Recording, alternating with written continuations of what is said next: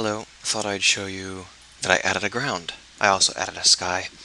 It really changes the way the game feels. So, for example, there's the ground. It's just debris. And here's the sky. And for some reason that message went flying off the right hand side of the screen.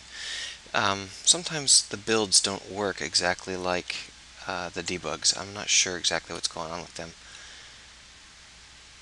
Well, either way, uh, the addition of a ground means that when you destroy an enemy, they stay dead instead of just falling off and vanishing.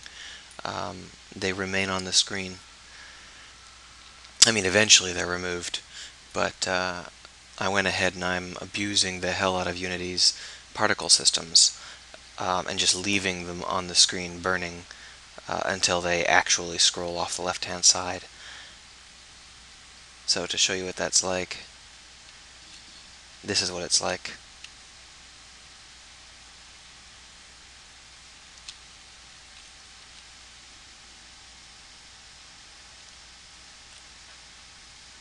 Hmm.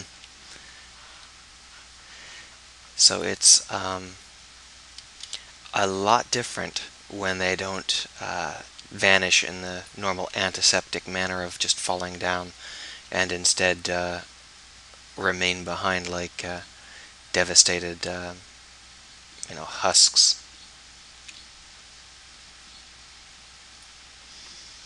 By the way, these are bowies. They're not supposed to be any particular threat. That's why they're falling so easily and not shooting at me. But they burn nice, don't they?